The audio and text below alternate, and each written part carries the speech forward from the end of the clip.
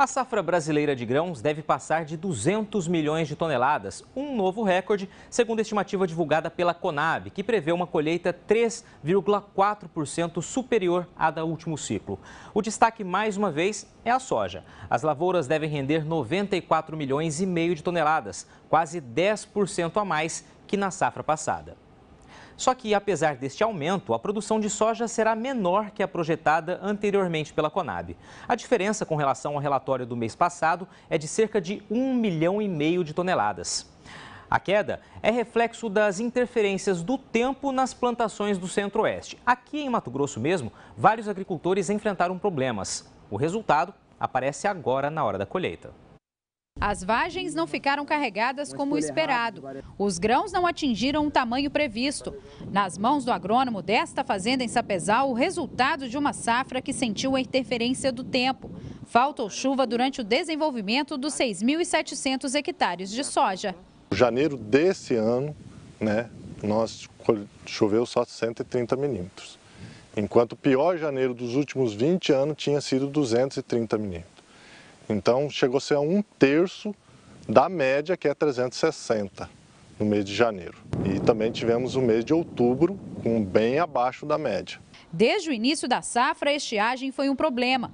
O plantio foi interrompido cinco vezes por causa da seca. Um talhão de 14 hectares precisou ser replantado.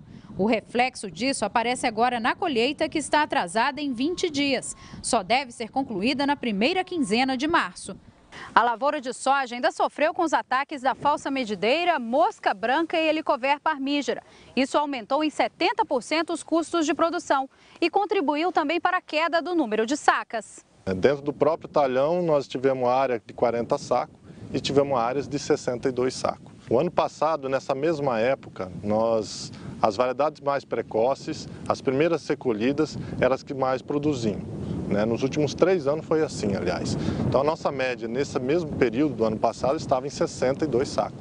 Hoje nós estamos com 53 sacos. Agricultor e coordenador do núcleo da ProSoja em Sapezal, Diego Dalmaso, diz que nos talhões mais arenosos da fazenda dele a produtividade foi de apenas 40 sacas por hectare. O esperado eram 60 sacas. Ele explica que outros agricultores da região registraram perdas ainda maiores. Dentro do município de Sapezal, relatos de alguns produtores varia bastante. Tem médias em torno de 40, 46 sacos, mas a gente sabe também de talhões onde os produtores fecharam médias abaixo de 30 sacas. Né? Então a gente sabe que o custo hoje da soja ele é alto. Então você colheu 30, você está abaixo do custo. Né? Então é uma média bem negativa. Nesta outra propriedade, também em Sapezal, a realidade é diferente. Aqui as máquinas já estão no campo para colher os 25% de soja que ainda restam. A expectativa é colher 58 sacas por hectare. São quatro sacas a mais do que a média alcançada na safra passada. O ano passado a gente plantou muito a variedade super precoce, esse ano a gente tem uma variedade nova aí da fundação que é resistente a nematóide com um ciclo um pouco maior. Eu acho que isso nos possibilitou é, produzir um pouco a mais por hectare. Então, hoje, comparando com os outros anos aí, a gente está um pouco acima da média. A distribuição de chuvas não foi uniforme.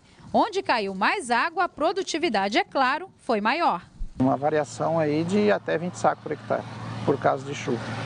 De acordo com o IMEA, até agora a produtividade média das lavouras já colhidas é de pouco mais de 52 sacas por hectare.